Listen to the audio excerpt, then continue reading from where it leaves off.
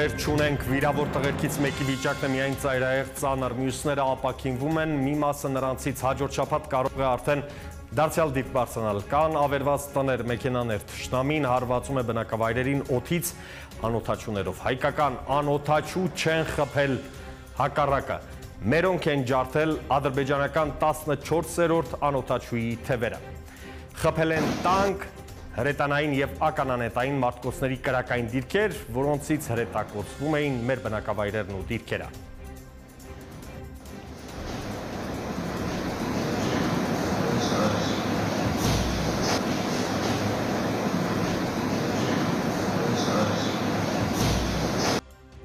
Ագրեսորն ունի զոհեր մեր կողմում դիակներ է թողել, էլիտար զինվորների դիակներ եւ չի գալիս վերցնելու։ Պետք է զգոն լինել եւ չգնալ սոցցանցերում հայտնված ամեն լուրի հետևից։ Ադրբեջանական ֆեյքերը, կոտրված հայկական էջերով, ամբողջ օրը Facebook-ում Պաշտպանության նախարարության անունից կեղծ լուրեր են տարածում, կոչ անելով բնակչությանը հավաքվել բնակավայրերի կենտրոններում։ Պաշտպանության նախարարությունը այդպիսի կոչ չի արել եւ ադրբեջանցիները քարոշչական հնարքներով փորձում են թիրախ դարձնել մեզ խոճապ տարածելու ինֆանտիլ փորձել են կատարում։ Համացանցում հայտնվել են փնթի մոնտաժված անլվա բեմականացմամբ ֆալշ ձայնով սխալ հնչերանգով հայերեն ձայնագրություն, որն իբր պատմում է հայ զոհերի մեծ թվի եւ խոճապային տրամադրությունների մասին։ Արա ախպեր ջան, արա, ես ինչ արար ստեղ կատարում արա։ Զաքերը ինչ որ բաներ թաքցնում են մեզանից։ Արա երեկվանից ստեղ լսի մեքենա է ախպեր ջան։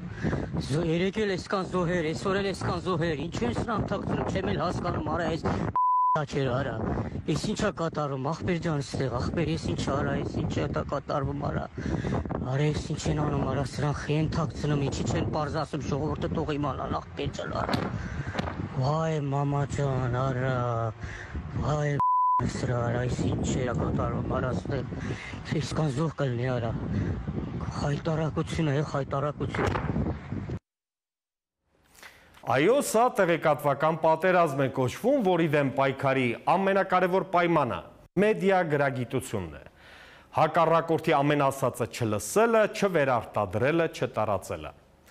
Ռազմական գործողություններ վերաբերյալ տեղեկությունը պետք է ստանալ բացառապես պաշտոնական աղբյուրից, տվյալ դեպքում պաշտպանության նախարարությունից, նրա խոսնակից կամ գերատեսչության լիազոր պաշտոնյայից, որը պատասխանատու է մամուլի հետ աշխատանքի համար։ Ահա նայեք էկրանին, այդ պատասխանատուները երկուսն են Պաշտպանության նախարարության խոսնակ Շուշան Ստեփանյանն ու նախկին խոսնակ Արծուն Հովանեսյանը։ Երկուսի Facebook-յան էջերն են, անպայման ուշադիր եղեք եւ ֆիքսեք. Անվան ներքևում կապույտ գույնով նշված վեյաձև նշանին, որը հավաստում է անձի ինքնությունը։ Պետք է տարածել մեր պաշտոնական տեղեկատվությունը հնարավորինս շատ լեզուներով, օտար լրագրողների եւ լրատվամիջոցների հետ ակտիվ աշխատելով։ Անկեղծ ասած քարոշչական այս պատերազմում ակնկալում էի հիմա էլ դեռ հույսս չեմ կորցնում, որ մեր խորհրդարանականները, քաղաքական հայտնի գործիչներ, որոնք չգիտես ինչու 24 ժամ ակտիվ են ներքաղաքական հակառակորդներին տորպեդահարելիս, ոչնչացնելիս, Եվ հիմա այդքան էլ աչքի չեն ընկնում ռացիոնալ գործողություններով։ Ակնկալում են, որ իրենց ձեռքի տակ եղած բոլոր հնարավորություններով աշխարհով մեկ շուխուր կանեն, գիշերները չեն քնի, հույսը միայն մեր լրատվամիջոցների վրա չեն դնի եւ կաշխատեն միջազգային բոլոր գործընկերների հետ։ Հասկանում եմ, որ ոմանց համար սա կոռուպցիայի դեմ պայքարի դուրս պրծուկ եւ շնաբարո եզրույթներն օգտագործելու թեմաներ չեն։ Բայց տղերք, ամոթ է, մի ամաչեք ազգային եւ արմատական կեցվածքից։ Մեր հանրությունը հերթական անգամ ապացուցեց, որ հենց թուրքը մեր սահմանին կրակի, մեր բոլոր հակասությունները մի կողմ ենք դնում եւ մեկ բռունցք դառնում։ Այդպես եղել է միշտ։ Եվ հենց սա է ազգ բանակ գաղափարախոսության հանրային դրսևորումը ու ընկալումը, որից չգիտես ինչու խորշում են ձեր ազատամիտ գաղափարախոսները։ Facebook-ը գործիքակազմ ունի, որ նախկինում գրած ձեր ստատուսները թեկուզև 1 տարի առաջ մի քանի լայքով կարող է նորից հայտնվել ձեր էջին, դարձյալ ակտիվանալ եւ շրջանառվել։ Բանակի ու ազգային թեմաների մասին ծաղրանք պարունակող ստատուսները նորից հարություն են առել հիմա։ Հիմա պատերազմական վիճակ է, ոչ մի քննադատություն չեմ հնչեցնի։ Դրա ժամանակն էլ կգա։ Ես այդ մտքերով ապրողներին չեմ դիմում, այլ նրանց հովանավորներին։ Զգուշ եղեք։ Ներազգային համախմբումն իրենց պիղծ մտքերով ապականող մարդկանց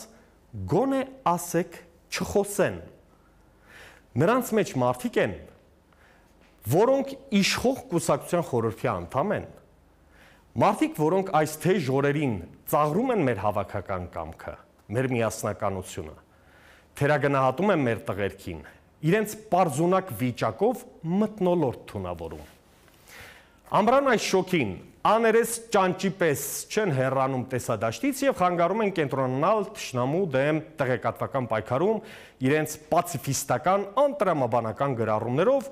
որոնք միայն ու միայն զգոնություն են թույլատրում։